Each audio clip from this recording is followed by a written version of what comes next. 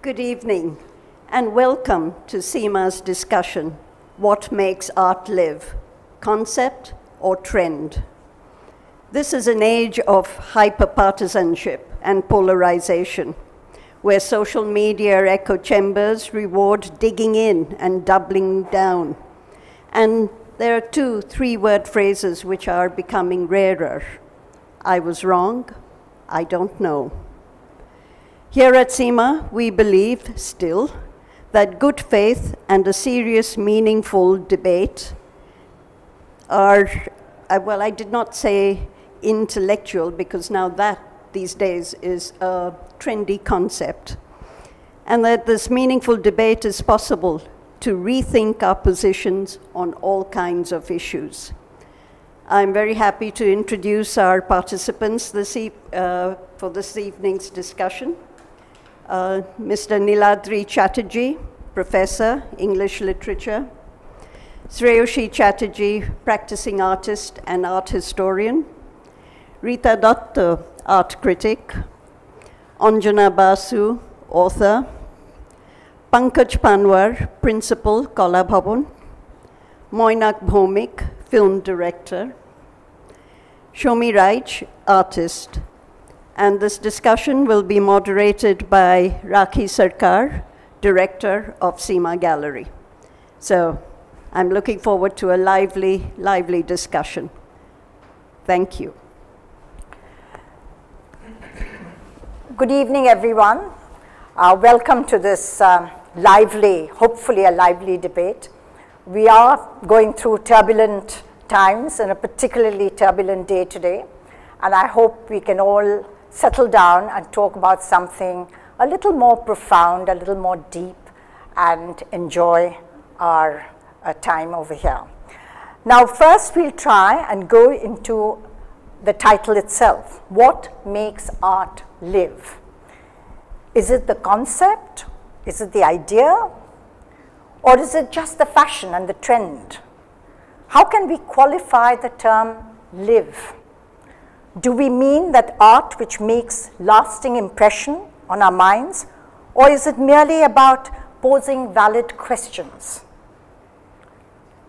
Pertinent questions relevant to the times? Or is it sheer grandeur and sensual magic that makes some art distinct from others, more noticeable? We will get each of our speakers to enlighten us with their opinions and perspectives and insight. I will call upon each participant to open up with a brief statement of two minutes and then lead the session on to a free-flowing discussion and there will be ample scope for debate and discussion and I hope we all enjoy as long as we don't interrupt the other person wildly, interruption is permissible. We will invite some questions at the end of the discussion. So first we start with these opening statements. So I will request Niladri to please say a few words on the topic itself. Um, Rakhidi, thank you so much. Um, thanks also for organizing this rather wonderful discussion. Um, I would actually say that more definitely not trend. Uh, I would think that what makes art live is ultimately skill um, and it is also about the audience. Um, you know, I'm an academic, so I'm going to come to it from a, a slightly theoretical point of view. Um, and I would want to refer to one of my favorite theoreticians, um, somebody called Judith Butler.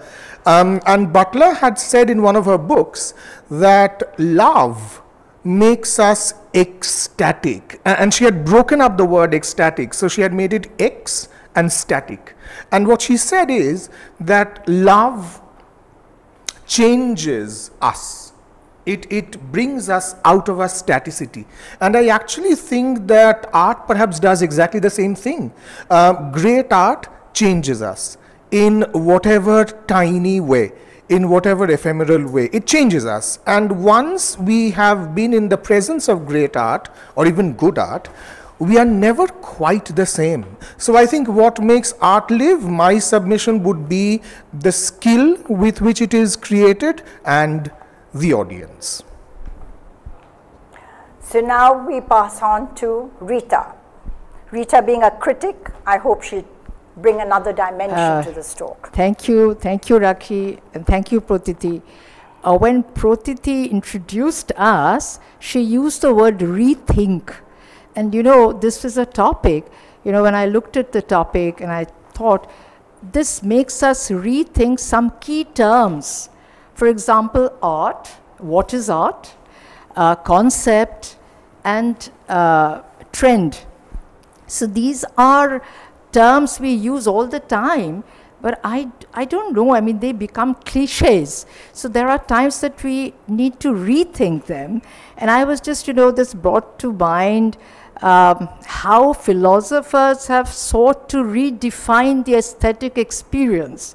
And, you know, they were. Uh, they did not know, uh, I, I, shouldn't say they did not know, they were inquiring into this aesthetic experience. And so they thought, is this just a personal experience? Is this subjective?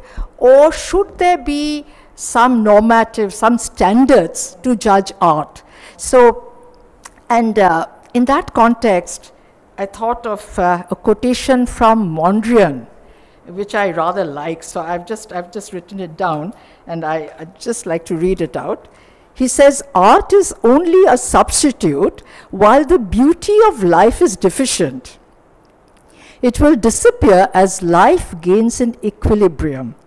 This is not unlike what Niladri just said, because life will never gain in equilibrium, so art cannot die. And this tells us that uh, man is aware that there is something deficient in life, and uh, so human civilization has always sought to pursue uh, beauty. Now, beauty, um, you know, the, the, the, definition of beauty keeps changing, but there is something that that search, that aesthetic search, has always been on, and um, I think this comes from a very, very deep seated urge in human beings. And if you look at prehistory, if you look at uh, not just cave paintings and body paint and you know uh, jewelry made of bones, etc., but if you look at pottery, see in pottery they, there was the, that was just functional. They did not need to attract the opposite uh, gender for propagation of the species. This was just functional. There was no, there was no need to decorate pottery.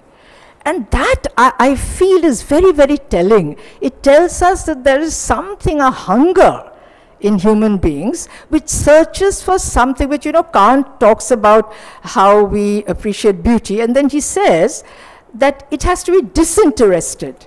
So, this disinterested love of the beautiful, or when we appreciate something, without um, it affecting our gains and losses, that I think is very, very significant. And that I think is what uh, makes art live.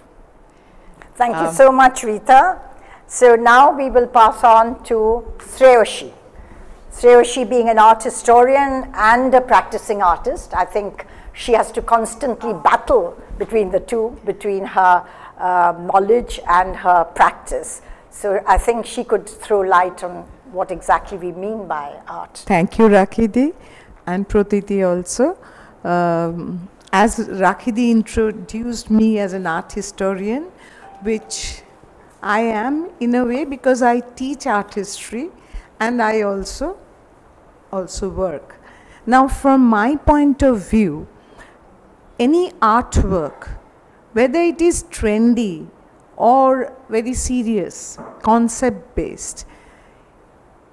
Each of them needs skill, surely, but it is not that uh, the skill, sometimes a work of art may lack skill by standard uh, arguments, but then also it becomes uh, very interesting. So for me, skill is not always the criteria of art, but the concept is always like I have to take an example, typical example, which is just coming to my mind today, that is uh, Duchamp, uh, his uh, urinal that he chose, uh, it was a ready-made object and from then on, the ready-made entered the art world.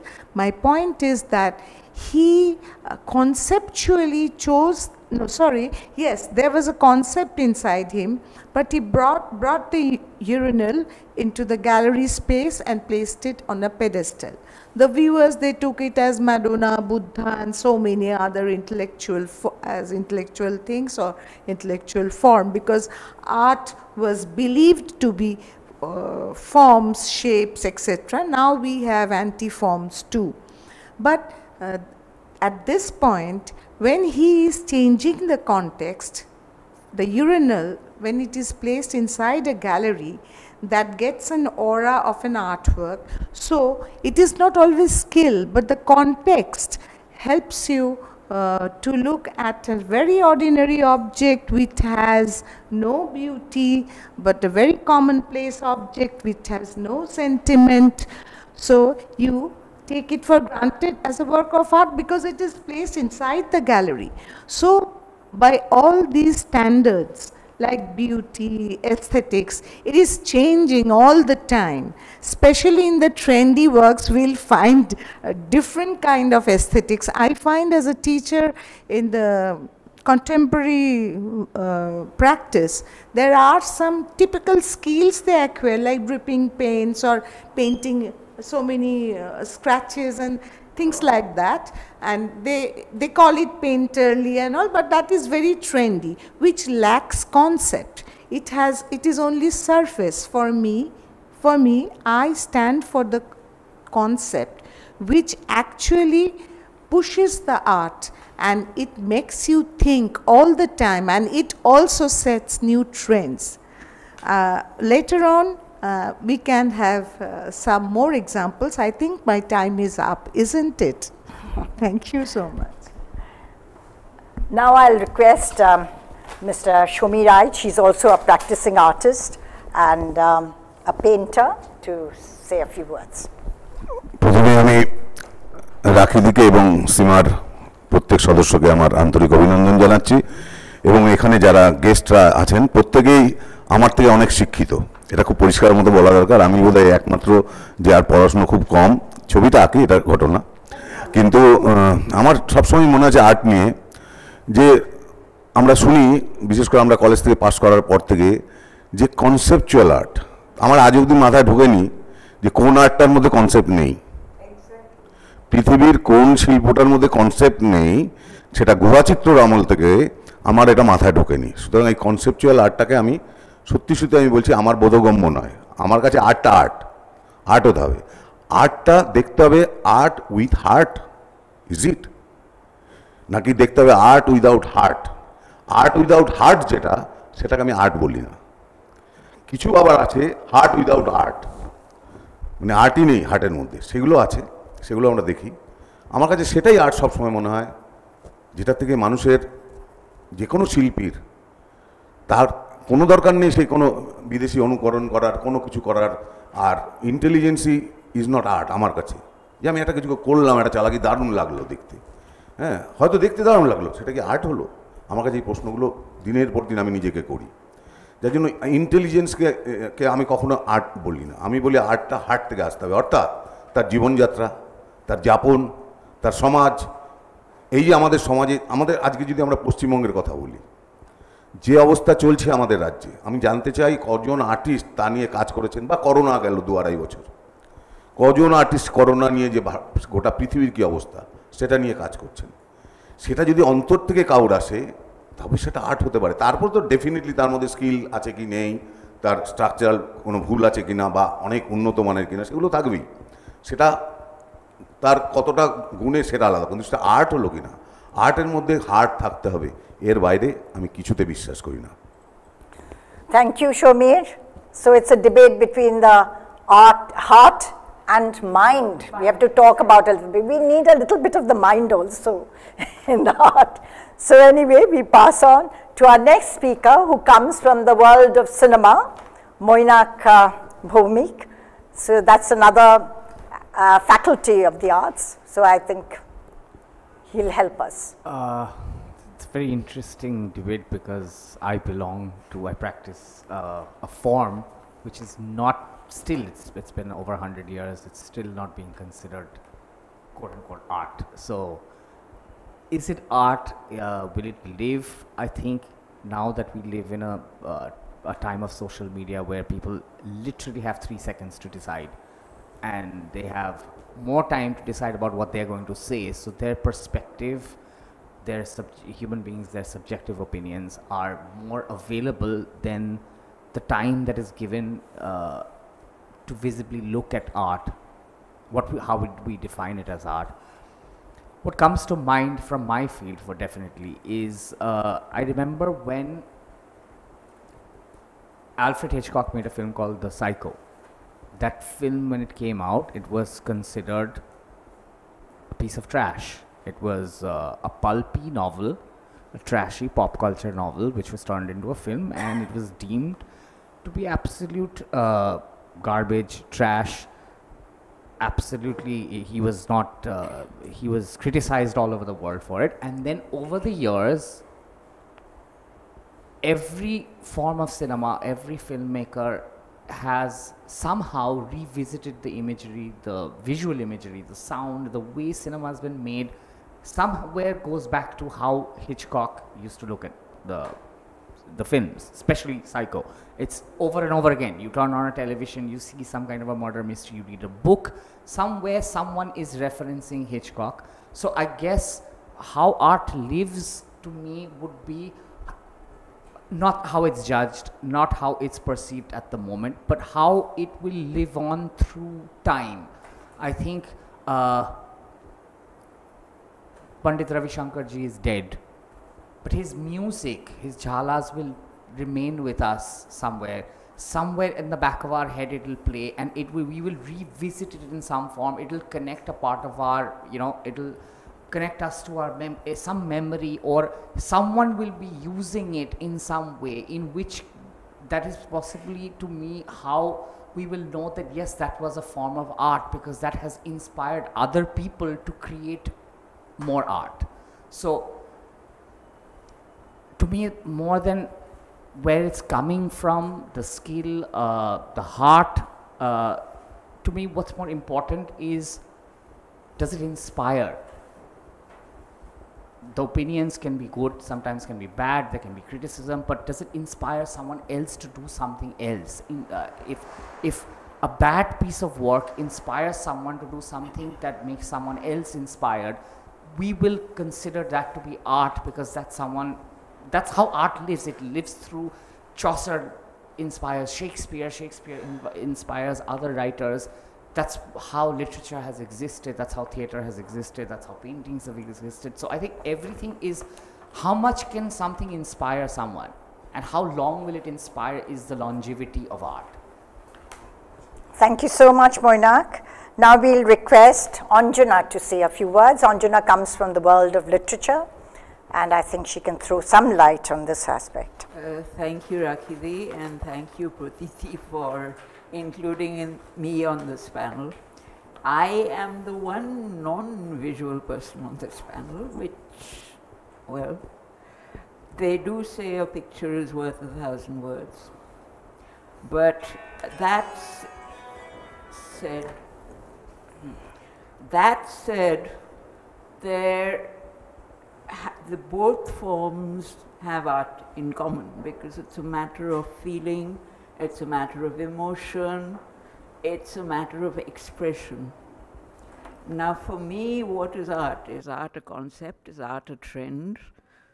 Actually, concepts and trends, if you come to think of it over time, have kind of merged into one another. They are, well, they are occasional gimmicks because you are worried that your audience may not be paying attention to you. And uh, you may be doing them because you want you need something out of the market. You need money you need to publish your book you need someone to see your painting and therefore you will quickly scribble or paint something which you hope will do something for your life at least make it better thereupon once it's out there as long as you're happy you're fine but the question comes is that it? Is that all it is? somewhere at the heart of things, there must be a reason why you yourself started doing it in the first place. And I don't think artists or writers began with concepts or trends. There's that handy quotation about spontaneous overflow of powerful emotion, which Niladri, as another English honors, is going to, yeah. And that is actually why everybody picks up a pencil, a brush, a pen, because you want to get something out of yourself and put it down. And thereupon, it doesn't matter to begin with because you've said you've said or drawn what you want to what you want to. It's only later when you mature that you start thinking, um, hmm, does everybody want to listen to my powerful emotion? What more can one do? Okay. Oh, along the way, things like society, things like the community come into it, and then you say, what do people think? Uh, can I do something beyond expressing myself? Can I influence other people, or can I say something or depict something which will perhaps make a difference? Who knows? But perhaps make a difference is again one of those things because it is very, very subjective how make a difference to whom? Is this your notion of making a difference? Were you better off actually expressing what you felt in the first place? Especially in a world where, for example, things are becoming shorthand, where people's attention spans are going somewhere else. No one is really paying attention for too long. So who are you? Are you the one that is important or what do you do with art? At the end of it, I think it still comes down to the fact that true art is what you feel, what is within you, and what you can express with honesty. Thereupon, whether people's attention spans, uh, social media, etc., perhaps you can ignore it because very frankly, we, not, we don't know what's going to happen in the next decade or the decade afterwards, whether we'll all be transferred into 3D creations or holograms. But if what you have created survives, and there I agree with Mainak, if it's timeless, the whole thing will be there it will make that difference you wanted to make or you wanted to express when you first picked up your pen, brush, film, camera. Thank you so much, Anjana. Finished? And so now we pass on to Pankaj. She is, uh, of course, a sculptor and deals with another aspect of the arts. So Uh, good evening, everyone. Uh, this is a wonderful occasion when we are speaking about how art live. Uh, it's a very huge topic. It's a huge subject. And it's like describing about life or art, something like that.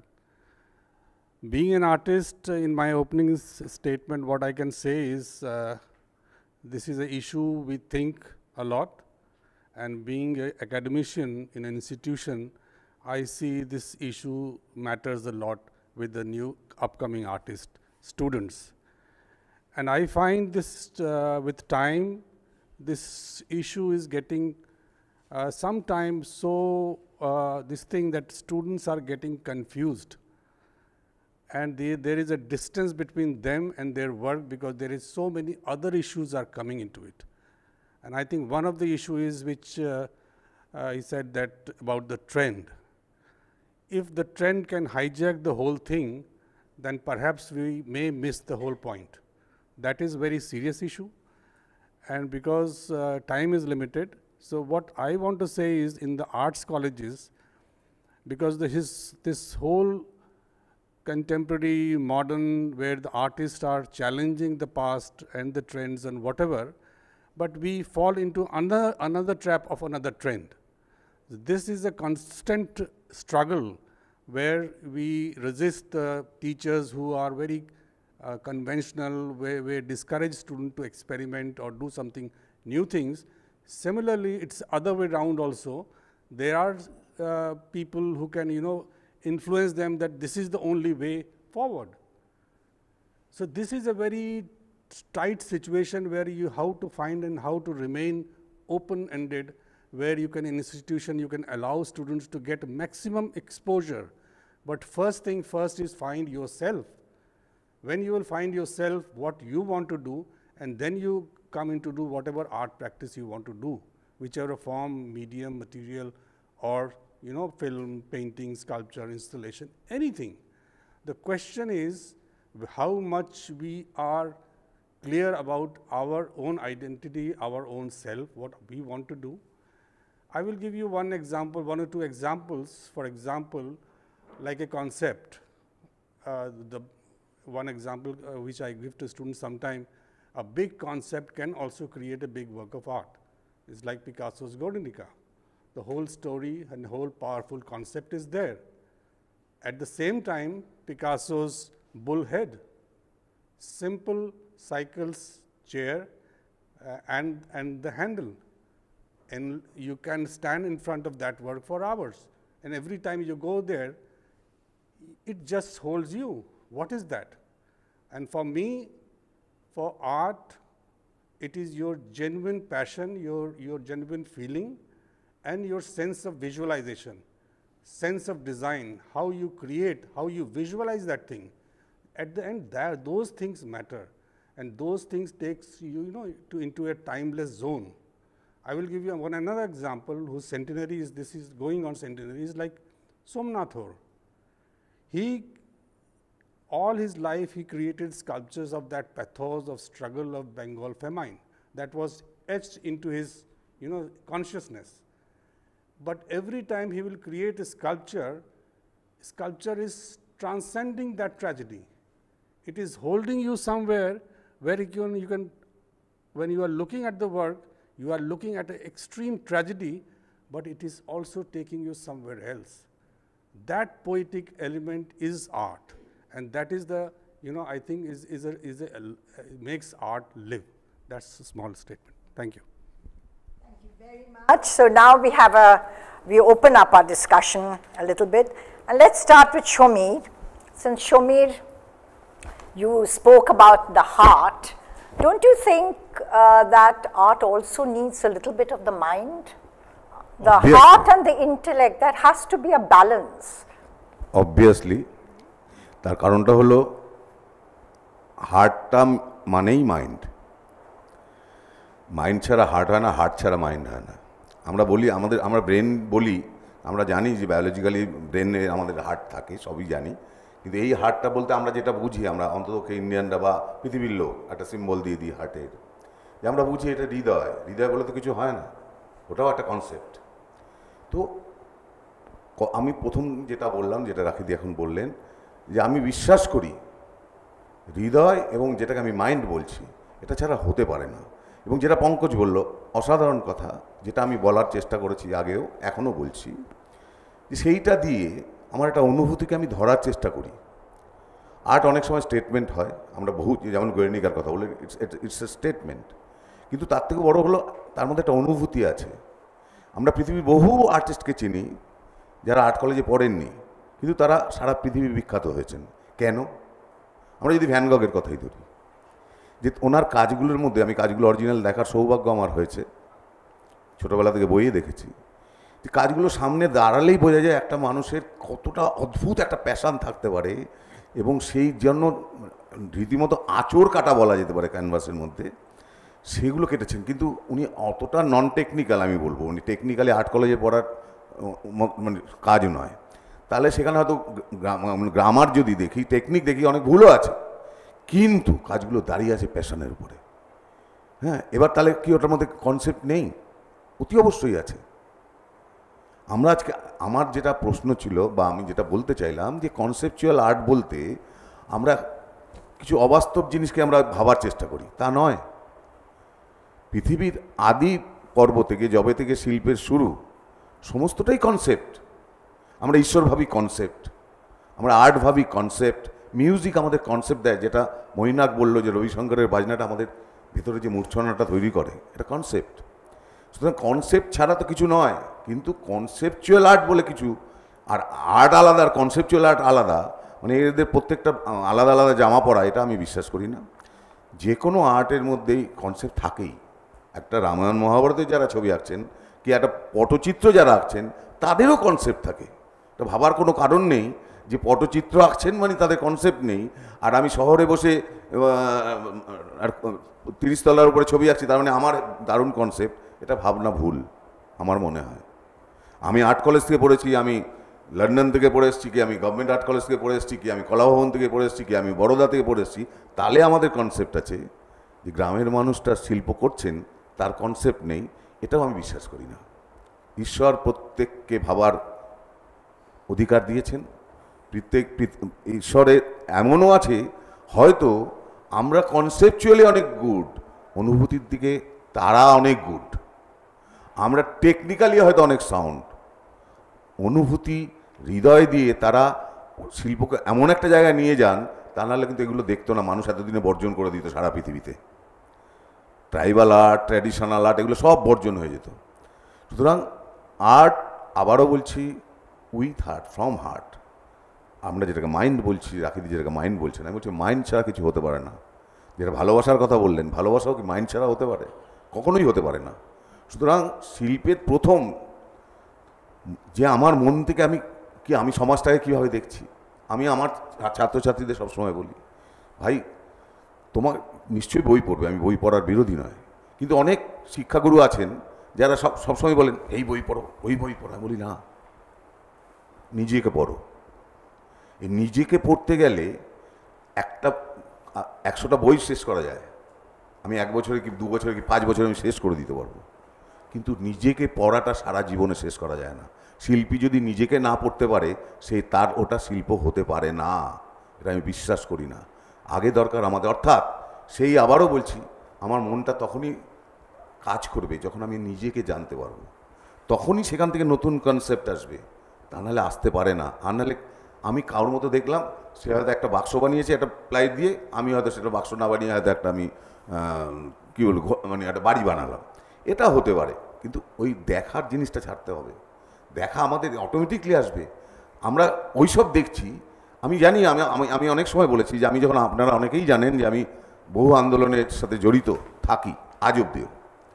সেখানে আমি যাই আমাকে অনেকে প্রশ্ন করেছে সমীর তুই যাস এরকম তো ছবি আঁকার ক্ষতি হয়? ছবি টবি না এঁকে সমীরাই যেই সব করছে? আমি বলি না ওটা না করলে আমি ছবি আঁকতে পারব না। আচ্ছা Neeladri Bolo, you're a part of the lit- literary world. So, when it comes to literature, great literature, what are the aspects that you feel, you know, uh, that dominate, you know, creating great art an art that lives? You know, I, by art, we just don't mean visual art, it could be any form of art, you know. And there is an overlapping of literature and visual art in a huge way, you know, all the arts actually. So, in your mind, what do you think? Oh, I think I would definitely take one point uh, that The heart and the uh, uh, mind, you know, that's Well, the I, debate. I actually happen to believe that they're not the same thing. Yeah. I, I happen to believe that they're not the same thing because I think, uh, you know, uh, I'm very glad that. Uh, that, that Wordsworth's quotation was referred to over here, spontaneous overflow. Of, but is it, that, that's where people get stuck, is with this spontaneous overflow of powerful feeling. What they don't come to is the later part of the quotation, which is recollected in tranquility. And that is what people miss out on. So therefore, you know, so people very often say, sir, in that case, whatever I, I sort of you know, vomit into my diary, can, can that be art? Um, to which the answer would probably be no, because you know, ju- just just because you're, you're feeling something does not make it art. Um, so I would actually uh, sort of uh, agree with what Mainak said is that art should endure. It should endure uh, and it should inspire. So this this ties in with what I had said that art should change you. Um, so it applies to literature as well. Is that if a book doesn't change you, it's not doing its job. Um, and every single person who has ever read a book, if he, or if they have finished reading the book and if they say, you know, I'm, I'm looking at the world in a slightly different way. If, if a book doesn't do it, if, if film doesn't do it, um, and by the way, I don't agree with you at all that film hasn't been considered as art. Film, you know, there's a museum of moving Yes, image. yes. So film has been considered art for at least. It's a know, composite, holistic art. yeah, yeah, very, very much so. holistic. Well, I mean, this is something that Wagner talks about when he talks about Gesamtkunstwerk, you know, the complete work of art. Yeah. Film has got music in it, it's got images in it, it's got drama in it. So Wagner, if Wagner had been alive today, Literature he would also, not be- literature, literature. huge, yeah. So had Wagner been alive today, he would not be composing operas, he would be directing movies, Moina. Uh, so that's what he would be doing. Um, so yeah, I, I think it should change. Uh, great literature has changed all of us. I'm pretty certain that there is everybody in this room and those who are watching this live, everybody can name at least one book that they have gone back to over and over again. Um, and in the same way that we go back to paintings over and over again, why am I constantly looking at the at the canvas that is behind us? Because you know, I, I have to say that Sumitro Basak, you know, um, he continues to disturb me. He continues to trouble me. Um, and I think this is something that great work always does. It disturbs, it troubles. And through that disturbance, through that troubling, it changes us. So, uh, Rita, being a critic, how will you? Um, it is uh, true, of course. You, I mean, heart and you know this passion, true, uh, Van Gogh. But then there's also Cezanne and uh, Mondrian, uh, Malevich. So um, we cannot, yeah, we, we, we can't really compartmentalize in that sense. Uh, so Cezanne's inquiry was, I mean, like it was as uh, it influenced, really influenced a whole generation of uh, uh, artists. Uh, but here, I just want to say something. When we see, for example, I am extremely, I, I love theatre. That too, I think, is a complete, you know, it's got. But the point is, you know, you see something really like uh, Shambhu Mitra's uh, Oedipus, and you know, you're so uh, moved, or Raja, or something, and it does touch you. But you know, I have this feeling that Rabindranath has been our icon uh, for a very long time, but has his thinking really endured with Bengalis? I don't think so. They're reading, they're, singing his songs, they're looking at the words, they uh, maybe know what his philosophy uh, is, but um, you think it has changed Bengalis? I, I'm very cynical about this. I think there's a compartment, you know, they put these things into separate compartments. I mean, here there's somebody who can go and see Bishorjon and then I, I should not bring up religion, but I'm saying that then they will practice something which is completely ritualistic. Yeah, no, I, I think so. I think, you know, um, I come, I, I'm so sorry, but I Yeah, sort of sure, sure. And, uh, you know, I come from, from not only from literature, but I've also been teaching gender studies. Um, and what I tell to my students every time is that, you know, in patriarchy, respect is insult. Uh, so when patriarchy says that you know I respect you, that, that is basically coded way of saying that I, I insult you. Um, and I think that is exactly what is happening to Tagore. I think we respect Tagore. Um, we respect Tagore. We we're going to you know we're going to decorate his picture, but we're not going to say what he we're not going to imbibe what he says about about against nationalism. We don't. We don't. So so I think Tagore is somebody that we respect, uh, but re- in respecting we kind of push him away from us uh, and we refuse to engage with him. And we absolve ourselves of that responsibility of engage with him because na পঁচিশে বৈশাখে to ফুলের মালা দিয়েছি তো so we've done our job. So Mainak, any point that you would like to raise? I mean, you know, in defense of your cinema as well. We, we could have another microphone. Yeah, yeah. Uh, no, I agree. I mean, definitely. You mentioned about influencing I was a, um, a major thing for you. So, I think, uh, see, I one of the like uh, for me, I felt that you know, like when we were growing up, say, I remember my college years being a lot of time I used to spend. A person who moved me deeply was Sylvia Plath. So I, I used to read the Bell Jar, you know, every the wo- every word she's saying, everything she's trying, it was touching me. It's like something. It's a, it's like a book. It was almost like someone was saying something that somehow I could connect with, and therefore to me it was art. It was a novel. It was a perfect novel. I it, it was a book that was under my pillow, and then you know, with over the years, last couple of years, you know, you assume that who the hell's going to visit the bell jar? Who's going to be bothered with Sylvia Plath? And then social media shows up.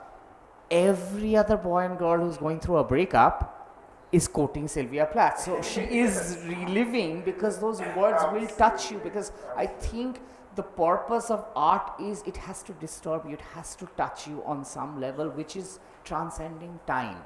And on a separate subject on Bengal, uh, definitely when we come to Tagore, I think we do have this problem.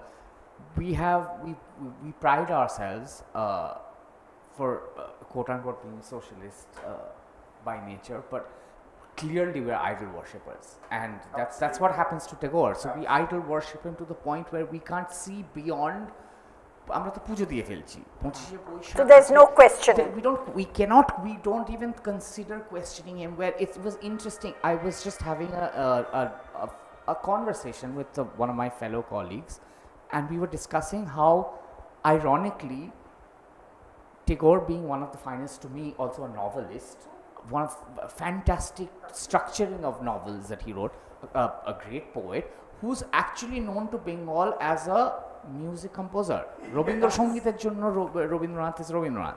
And similarly, Satyajit Ray, a filmmaker, one of the greatest in our country, is actually known for being a detective pulp novelist. he is not known beyond Feluda. And uh, it's, it's, and this mostly, I mean, it's whenever I hear these words, so I feel like, you know, we have to, I mean, in order to love art and in order to, for art to endure, we, ca- we should be able to criticize it.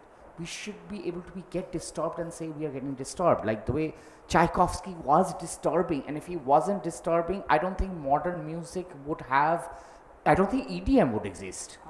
So, you know, I, if we cannot question art and if we put it on a pedestal and we start worshipping it, I don't know if that's going to endure. I don't think 100 years later, uh, people will actually go back and see what was what's going on between the lines in Tagore when he's actually like when we go back to say Ghore Baire, the novel.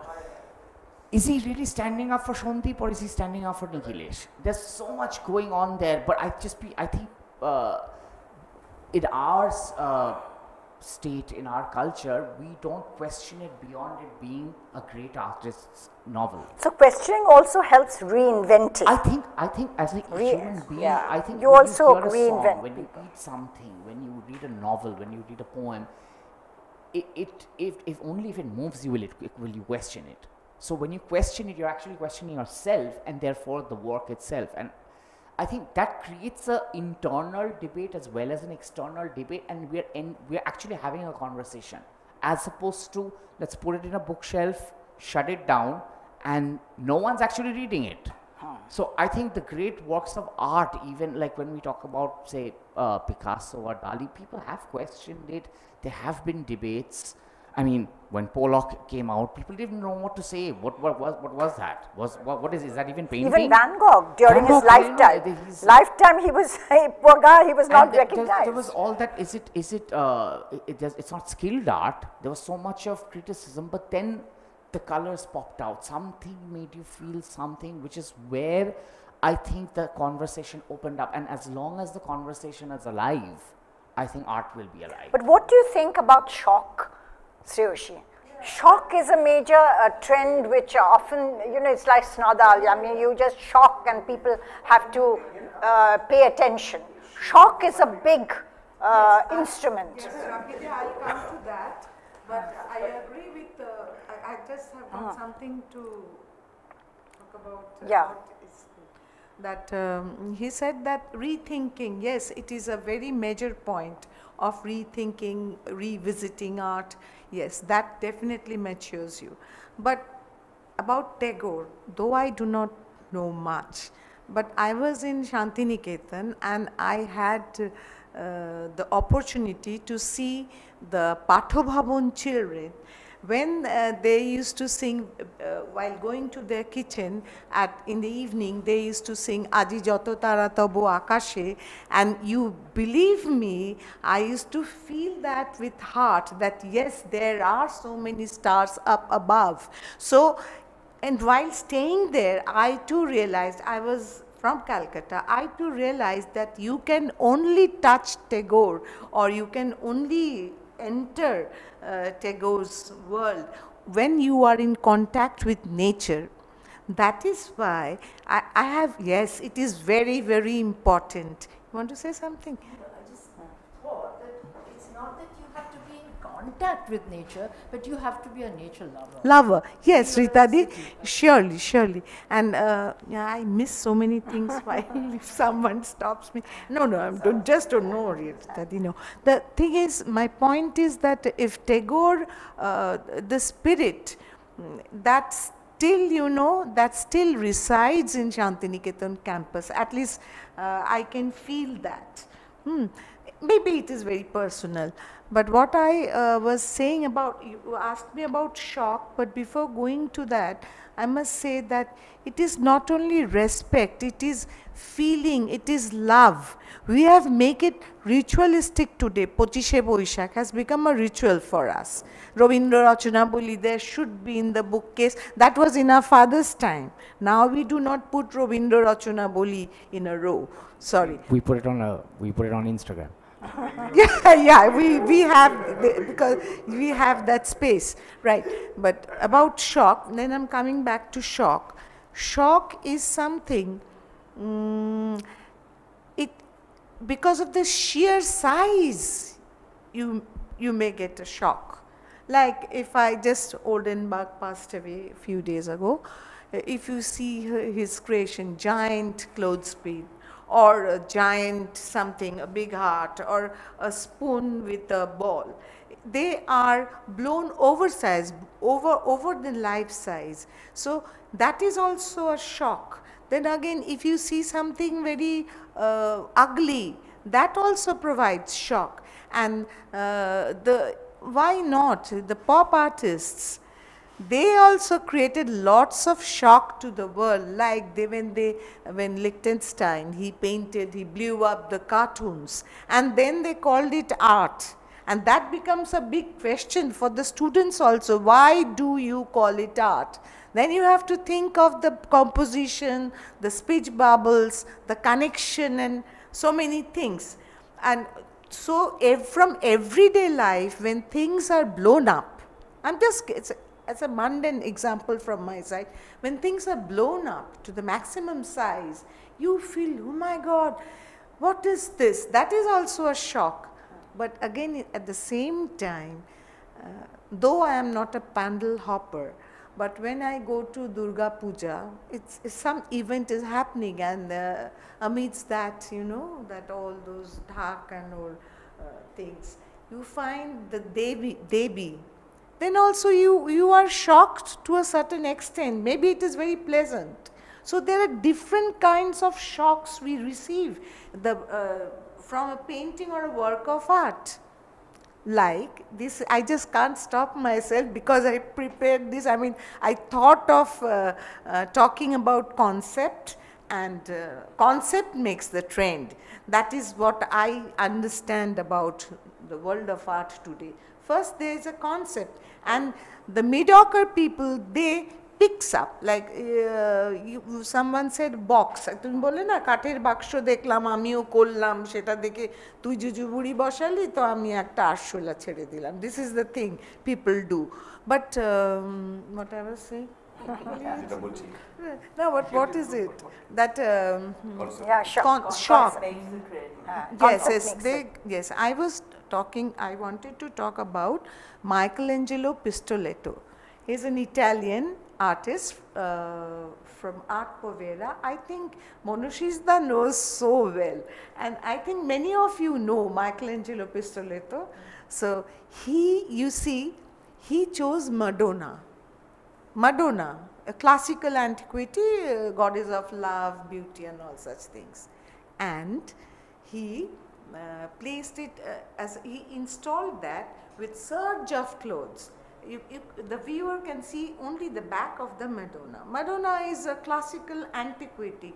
Why are you pulling it down? You are breaking the train, the hierarchy.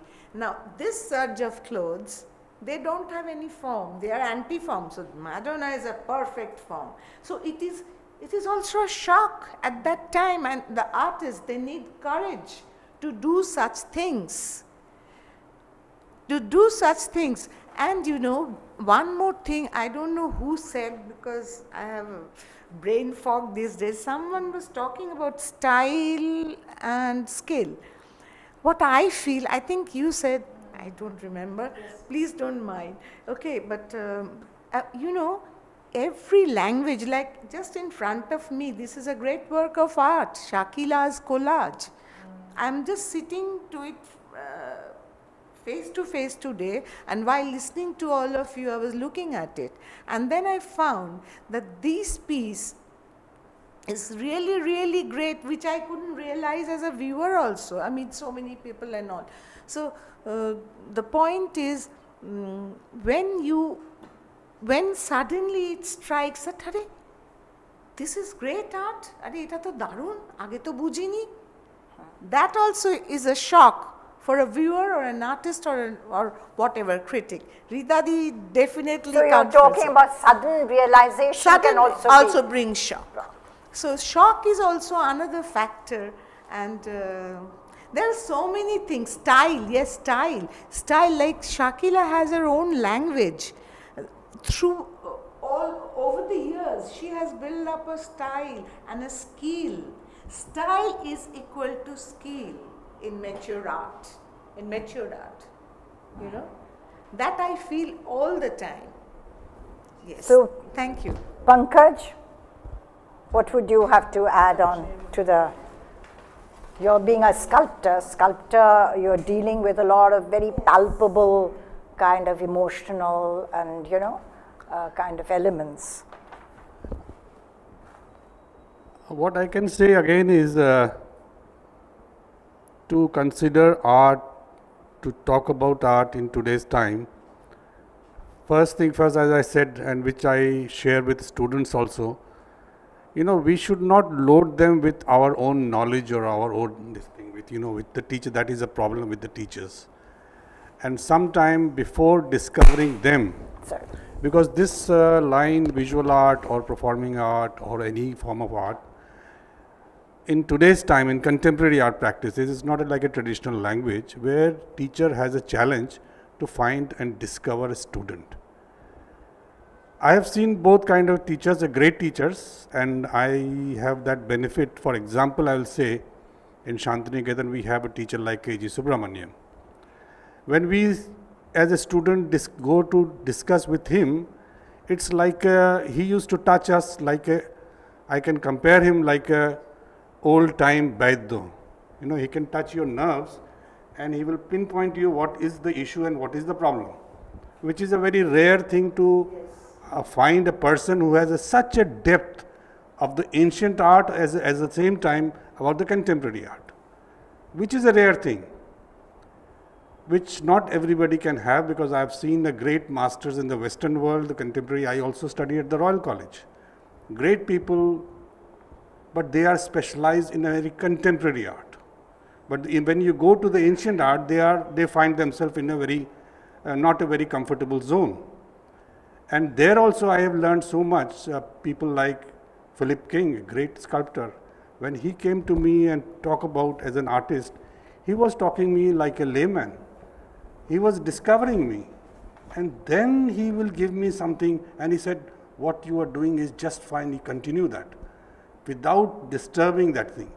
So the problem as an institution is sometimes we, without knowing, without challenging student to find yourself, giving them a wider exposure, but giving them a confidence to choose yourself and start your journey, rather than you know giving them set formulas. That is my one simple thing. I, really want to add something here at this point. Like it was Master Mushai forever, Nandalal Bose. He said nature, tradition, and originality. The, this triangle, this is, these are the things the students should follow. Nature is there for you. There is also tradition. You look back to and originality. That is your space. How you absorb your surroundings. Because we also teach, but though I am a theoretical teacher, but uh, practical students, they do come to me. Then I always say that why do you look for your subjects in the uh, website? Why don't you have your own kind of feeling? Then only you can discover your own necessity, your own language. This is what I wanted to say that nature tradition. Anjana, you're a practicing author. Oh So, what are the They- dilemmas that you go through? ideas from there always.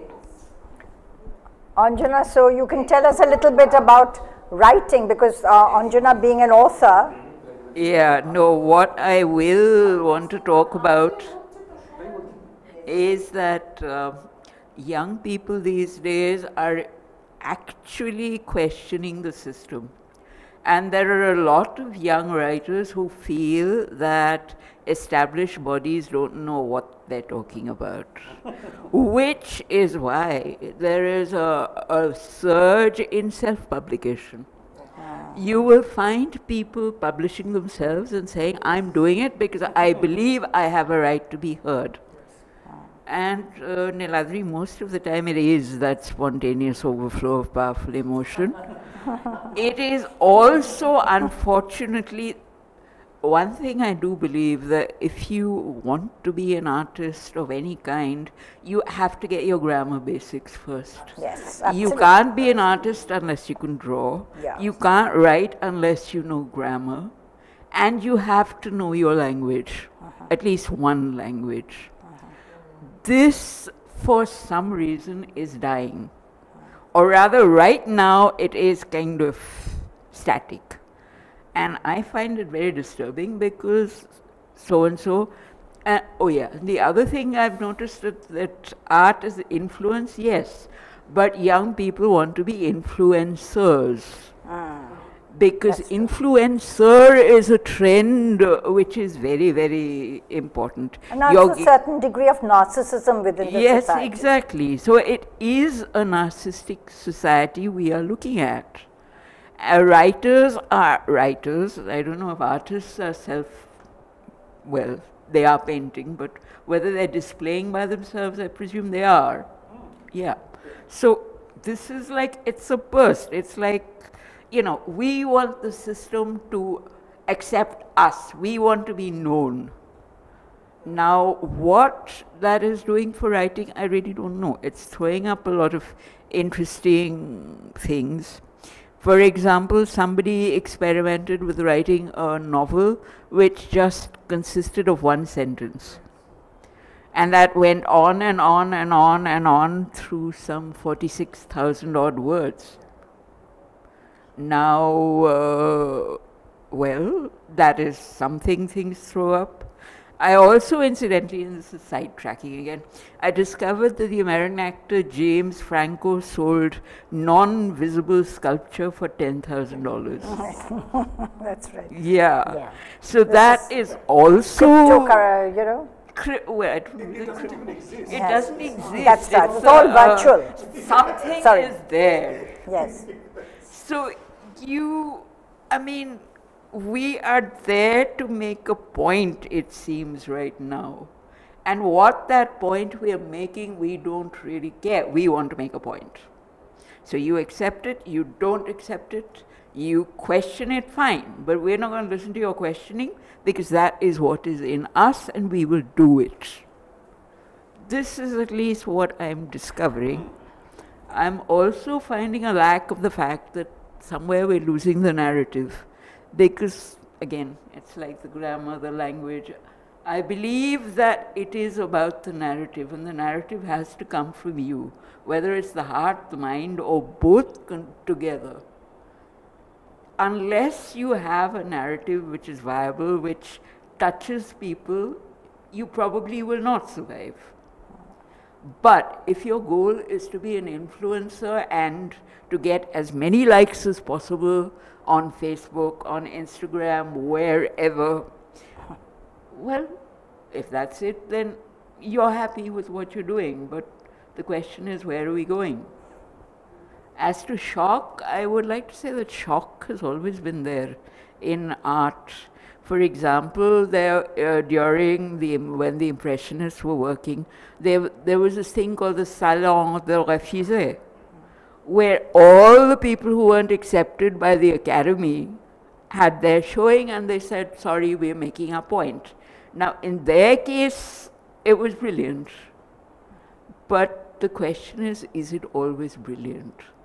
Because unless we question unless we stand back and stop looking for icons and influences, I think we are going to end up in a bad space, at least for a while. And what do you think about uh, the issue of money? Do you think money has a corrupting influence on lasting, uh, you know, um, Mainak, coming from the world of films, where money is very, very important. How many people come and see your work, which has become, you know, a pain for a lot of very serious filmmakers. You know, they are really concerned about this because if I can't make up for the money, then, you know, I won't get the next film. You know, and money has become a huge issue, both in the arts as well. I paint, I'm, I'm creating sculptures, I'm making films, but it's not selling for some reason. You know, and today, in today's day and time, uh, how long is it sustainable to function without money? Money is uh, an imperative. I mean, you know, we need it absolutely. But money also has a debilitating influence because money also has its own uh, problems. It creates a genre which um, somehow defies pure art sometimes. Well, I mean, especially where I come from, uh, in working in films and the history of films, is this is definitely one form where you're completely uh, dependent on money. Uh-huh. You can't just uh, yeah. make a film for free. It's not. Gonna, you need money to make the film. Uh, a major definition of its success is how much money has been spent and how much money comes back. I mean, back. look at Satyajit Babu, the way he made his film, Pather Panchali, three years, no money, a little bit of money, and then some money, you know, and then the film was done. Is it possible to sustain that kind of work in today's day and time? It's uh, difficult, and especially in a time where I think now in the last 10, 15 years, if we look at it, everything is being defined by quantification. I mean, I was uh, recently reading a piece of by Francis Ford Coppola about, he was talking about The Godfather, the second one, which I consider one of the best uh, films, which is a sequel of the original, which is actually perhaps a better film. And he talks about his frustration about how the film was not financially successful, so it was not therefore considered as a good piece of art because it was not financially successful. Yeah. So I think a lot of times in the case of art, I think uh, one thing we majorly suffer from is if it's not quantified, how expensive is this? Yeah. Is how many people know of this person? How much money did that make? How many copies of that book did it sell? That defines that kind of uh, takes it forward. So when I was talking about Tagore, it was also it's not directly financial, but it's the quantification of the Nobel Prize defines him. I mean, there are great filmmakers, but Satyajit Ray wins the Oscar. So the, the westernized quantification or uh, acceptance, acceptance sort of. which is kind of it's a kind yeah. of a monetization. Yeah. yeah. So that's where they, they want. When a filmmaker makes a, or an artist makes a piece of work, but they, you don't know how to quantify it. It doesn't have enough likes, not enough tickets were bought. Maybe that book has not sold enough. Now how do you have a perception? How do you perceive it? Is it good? Is it bad? Am i supposed to like it? Or is my natural instinct to start criticizing it because it's not financially viable? So i think the world has been taken over by uh, this capitalist nature where we just we don't know how to define anything accept anything criticize our our, our major uh, many times our criticism comes from its lack of uh, success which is defined by finance. So it's I think we are in a very weird where every human being clearly is looking for attention. So in that universe, I think when you're talking about shock value, it becomes important because if you can't shock someone, you're not getting their attention. attention. Now, can you do you have a piece of work that can be deemed to be art? So I think that would be a nice way because that's sort of sort of a, uh, an advertise ad, advertorial. Like a front. teaser. Like give it something. you need people to Yeah. see it Yeah. before they talk Notice about it. it. We, I mean, uh, don't shock them in a in a in a uh, perverse way, but you can shock them in a way where you get their attention. Because I feel everyone's too busy attending to themselves. I think a better word would be surprise. Because it may not always shock, but something new will surprise, and surprise has a positive connotation. You know, shock may work both ways. Well, negative. Uh, um, what I mean, honestly, to me, the media and uh, the Republic TV in the last two years, I think negativity gets you going. Yeah, I don't think uh, a positive surprise. না মৈনাক যেগুলো বলল একদম সত্যি কথাগুলো বলল কিন্তু আমরা পৃথিবীর ইতিহাস যদি দেখি বা আমাদের যেহেতু আমরা এখনও ইতিহাস হয়ে যায়নি, তো দেখতে পাই যে সত্যি সত্যি অর্থনৈতিক কারণে কীভাবে যে কোনো শিল্পই কীভাবে বঞ্চনার শিকার হয়ে যায় মানে তাদেরকে এস্টাবলিশই করা হয় না যে সেগুলো ভালো আর্ট বা আমরা সেটা গ্রামের প্রচুর শিল্পী এরকম আমরা শুধু ছবি আঁকা নয়, সেটা গানের জগতে আছে, সাহিত্যে তো রয়েছেই কিন্তু আমার কথা হলো যে আমার, যেটা নিয়ে আমরা প্রথম শুরু করেছিলাম রাখিদি, যে আর্টটা আমরা কোনটাকে বলব? আমি, এবং শখটা ডেফিনেটলি একটা পার্ট আমার আবারও বলছি, আর্ট আমরা কাকে বলব সেটাকে আমাদের আগে বোঝা দরকার। তার কারণটা আমি একটা ছোট উদাহরণ দেব। আমার একটা হরতালের দিন আমাদেরই অঞ্চলের এক মামা বলে পরিচিত, সব বন্ধুরা এই মামা ডাকে। তো হরতাল হরতালের দিন মামার বাড়িতে যাওয়া হচ্ছে মামা পেশাতে একজন তোমার মেকানিক্যাল ইঞ্জিনিয়ার। ভদ্রলোকের টাকা শেষ হলে উনি আবার মেশিন তৈরি করেন। প্রিন্টিং মেশিন আবার টাকা আসলে আর মেশিন করা বন্ধ। তো এই হলো ক্যারেক্টার তো মামার বাড়িতে যাওয়া হয়েছে, তো মামার আমার আরেক বন্ধু, মামাকে জিজ্ঞেস মামা, তো দেখছি মামা রান্না করছে। তো মামাকে জিজ্ঞেস মামা, কী রান্না করো? বল, কেন, ডিমের ঝুল? ডিমের ঝুল। তো আমার বন্ধু কাছে গেছে, গিয়ে দেখে তোর মধ্যে ঝোল হচ্ছে, ডিম নেই। তো বলল মামা তো ডিম কোথায়? বলে, আর কইস না, আজকে হরতালের দিন, তো ডিম তো পাই নাই, তো ডিমের ঝুলটাই বানাই। তো এই ডিম, ডিমের ঝোল হবে। ডিম না থাকলে কিন্তু সেটা সত্যিকারের ডিমের ঝোল হলো না। এটাতে শখ থাকতে পারে, আর্ট হবে না। সুতরাং আর্ট থাকতে গেলে হৃদয়, আমরা মাইন্ড, আর্ট, আমরা যাই বলি, আমি বলছি মইনা এবং অর্থ পেলাম কি পেলাম না, কেউ আর্ট বলল কি বলল না, ধরে নিচ্ছি আমার মৃত্যুর পরেও কেউ বলল না আর্ট। এগুলো কোনোটা ম্যাটার করে না। যার করার না, সেই কেঁচোর মতো।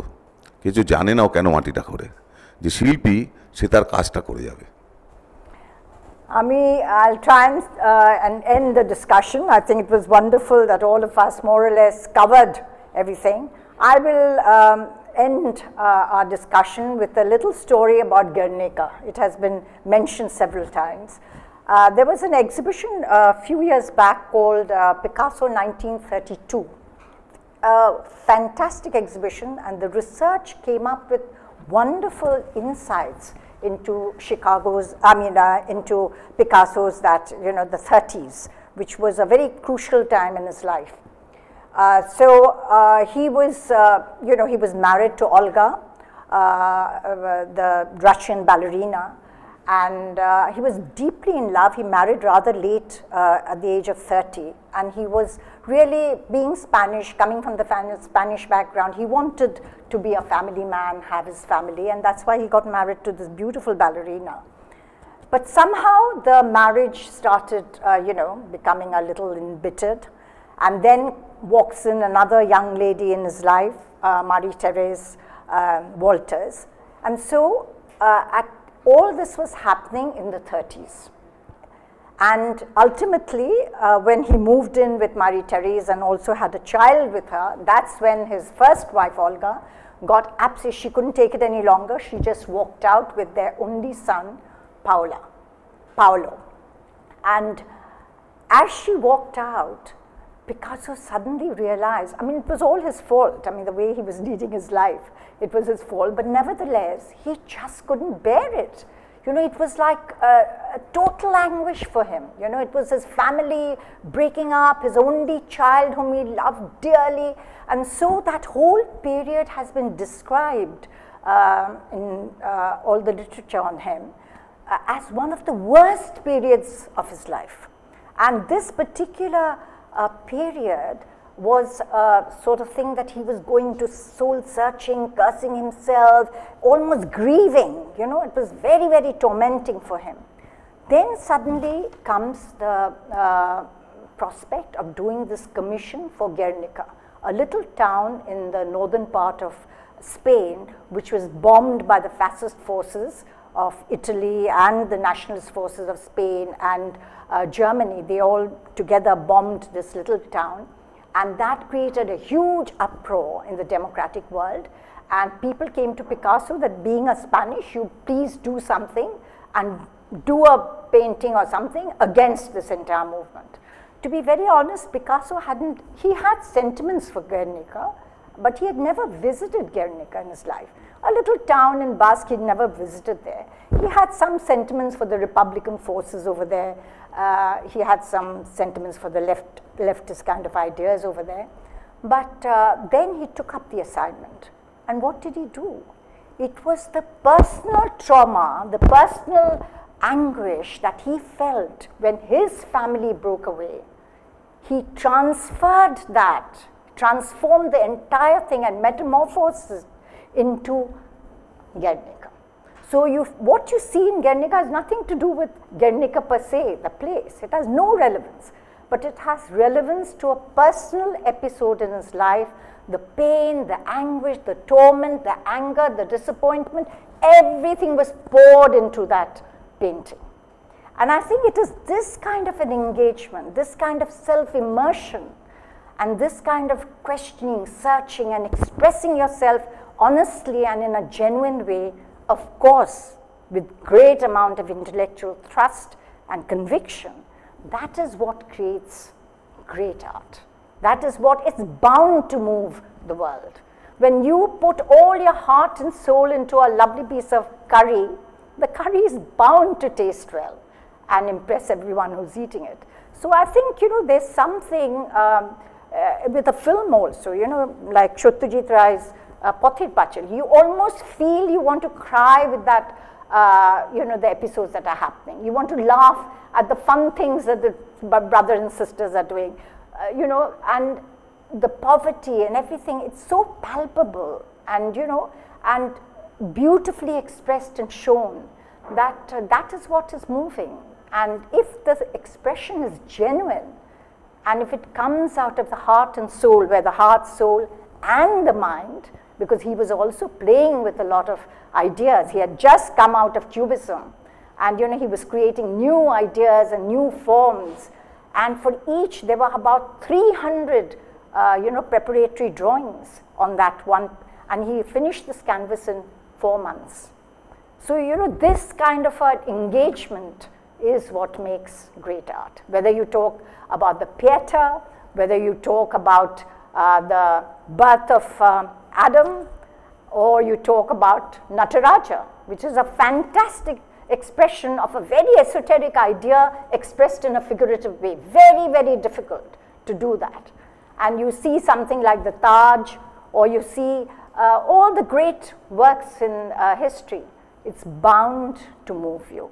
And those are the elements that I feel are absolutely, uh, you know, crucial to make art live. So I think we can have a little question answer session now. So any questions from the audience? Uh, yes, okay. Um, since you were talking about uh, Picasso's Guernica, I'm, I'm wondering, does dystopia sell? Does it attract public interest? And, and my second question would be, how much um, is is this uh, fueled, this public interest fueled by the media? Is it the media that fuels public interest or the aesthetics which fuel public interest? Anyone wants to answer this, please? Niladri, or, I mean, critic, critic, Rita? Um, because there is, I feel that uh, enjoy dystopia when they are not themselves part of it. They enjoy, uh, I, I, shouldn't say they enjoy, but when they see something, uh, misfortune of others or some kind of a, a fantasy land where horrible things uh, happen, they uh, kind of they, they, they think that they are lucky they are not there. But at the same time, at the back of their minds, I think there is that empathy. Oh my God, that could actually be happening. So I think if they were part of the, that dystopia, that would be terrible. But to just see it from a distance is, is I think, something uh, they actually relish because it's a, it's a kind of a shock. That shock element is there. And what was the other one? Yes, the media. Yes, I think uh, to an extent, uh, what, what, do you think, uh, Moina? Do you think the media is, yes, the media is because the media picks up uh, things which are very unpleasant, but at the same time, people go to that uh, kind of news. What is unpleasant? That is what people read. What do you think? So it has a shock value also. Uh, yeah, I think definitely the media plays a big role in how creating perception. I mean, let's look at a very basic image. On the street, you see an old couple, two old friends, uh, meeting after 50 years, they're having tea. That's a beautiful image. Then you see a, a newly married couple, young couple holding hands walking down the road. Beautiful image. And then on the right, you see a car crash and a dead man. I think everyone's going to be looking at the dead man in the car crash because it's shocking, it's scary, and the media is definitely going to sell it. So I think there's a there. I think entropy, chaos, negativity there has has a tremendous attraction right now, right here. Of course, it may not relive. It may not live on, but right now it's going to. I, I think human beings have a tendency to look at that accident. I remember when COVID started. Uh, one of the questions that started, how many people are dead? It's almost like the number wasn't enough. It was frustratingly low. And as the number increased, it, there was a sense of satisfaction that, yes, it's a big thing. Maybe not. Next question. Is, but tell me, is, is, is the, the media leading this or is it being led?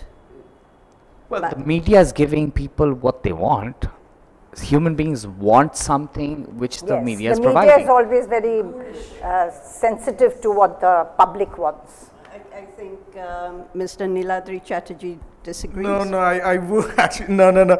It's, it's a cop out, Mainak. It's, it's something that Bollywood has been using for many, many decades. We only serve what the people want to see. Extremely dishonest. Um, I think that, um, so there are two kinds of art. One kind of art, which I call pretty art, which is acceptable, which rich people like to hang on the, you know, when they're eating their, their souffle. Um, so, so that is one kind of art which usually doesn't sell very well. Then you have the other kind of art, which, which is sort of, you know, conventionally regarded as being ugly because it pushes the envelope, it, it sort of asks certain basic questions. And I think that um, the, there is no one kind of art. I think there is, there is one kind of art which the corporate sector would want to invest in because it looks good in their front office. Uh, and then there's this other kind of art which may not look good in their front office, but which will be bought by the aficionados aficionado because they feel that this is something which, which they should invest in not for any other value than just to say that you know this is this is taking art forward I think the media has got an interesting role to play. Unfortunately, media is also, um, has always been driven by major capitalist interests, which means that they are only going to focus on those artists that they regard as being bankable. And I think that this is where social media has been a very, very important challenge, I think, because you have the conventional media that is promoting one kind of art only because it's only got that amount of space. Um, Instagram, for example, or Facebook, because the space is limitless, you have a lot of artists who are showing their work which the conventional media would not want to focus on. So I think that now we are living in a very exciting time when it isn't just the conventional print media that has got the monopoly um, as to what kind of art should be brought to public attention, social media, even TikTok, why not, eh, is creating a space where new artists are emerging who would not be able to emerge otherwise. Any other questions from the audience? Manushik Babu? Hi.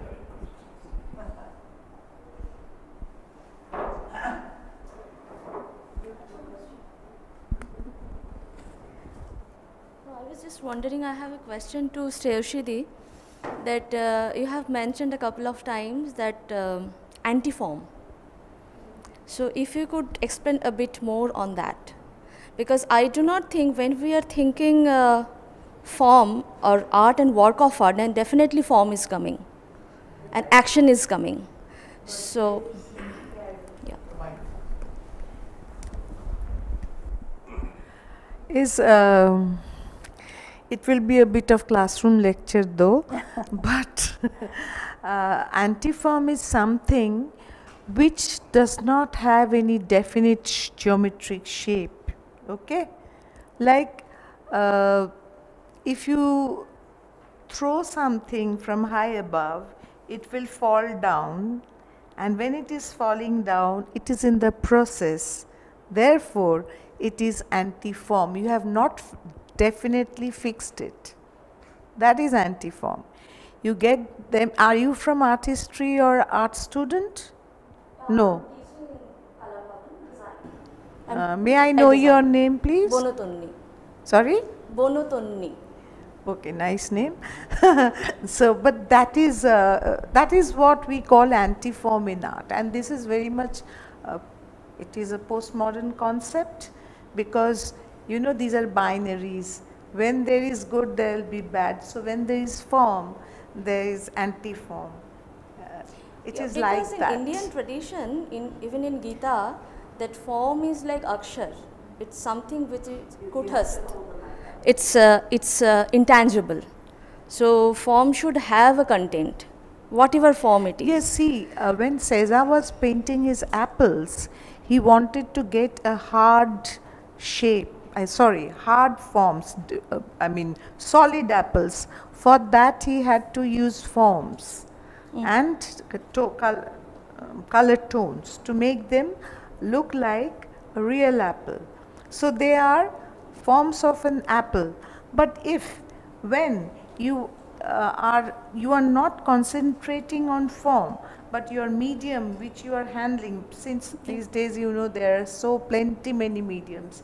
If you want to put that this way on the wall, which is in the village in of Orissa, I have seen they call it Choti Chita or Choti Chita, I don't know. They make lovely uh, walls. I mean, not alpona, but, but just by throwing paints. Then that is again anti-form.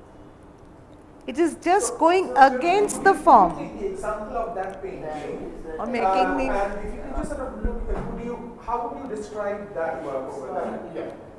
Yeah, but, but since it is confined in a canvas, I just cannot say it is anti-form. So you have to have a, you know, which is free. Just, uh, that's why I said there's a work, its name is As, Asphalt Rundown uh, by a land artist, which is again Would you anti-form. say a- a floating, if floating cloud, a form like that? Now, if I am a poet, I could see a rabbit in that. I No, no, it's a nice question. Please, come on, My, my, please. my voice is loud enough, I think. But if, if I say, if I see a rabbit in a cloud, then Ah, I that can call it anti yeah, yeah, that but can- vapors, smokes, you know. Rakhidi, do you remember that work? uh, Some smoke was coming out from the ground. Uh, so that is again anti-form. You know, that, that's why I uh, uh, pointed out Michelangelo Pistoletto with rags, piles of rags. Maybe they are strewn all over the floor. Then what will you say? That is anti-form. You can make a form out of that, but it is an established thing that don't. I'm not talking in Indian context. Okay, I haven't read Gita all all the lines of I think Gita. there is a problem in this postmodern coinage because the form I'm referring to is not the Euclidean form. The point is like a region. So it's more Region. Yes, form as a region. Not as a point, not as the Euclidean point. Idiom. Not idiom, region, a region. R E G I O N. Yes. I don't understand, I don't get that. For me, a form can be solid, a form which is oh. just you. Because the moment- on, that is again anti-form. Because it is not, you see, when you build up a sculptural head, you are building up, you build up a cow, it is cow, taking the shape of a cow. But when you are throwing against the gravity, then what are you doing? That is also form because anti-form. because when I am moving my hand, I am also including the space within. So That- space, space you can include by drawing lines also. No, not only drawing No, lines. You can, you can blow air and say foo, and that is also that also is, includes region. Hmm. Yeah. So, but yes, that same thing. No, but the question is why it is- See, if there there is it's not a solid form. It is scattered. When things are scattered on a gallery floor. I think eh, Niladri, would you like to speak? Because they are going against something which you build up, give shape to. No. Installation also anti-form. Installation. No. Installation has got something, with what kind of material you install, that depends on it. If you have so many things and if you have all the uh, indexical signs which build up an installation form, then it is installation. Now, would you say that conceptual art, as it is called, it is a, it is just concept and form. Yes, it's a concept, sometimes it's a concept, but and sometimes it, it can have a form. It can have a form. In fact, you don't know, it does have a form. Does yeah, have in fact, it's an example of this. Oh, that is anti-retinal, another term. So what will you do when something is I anti think this is the play of word in modern times.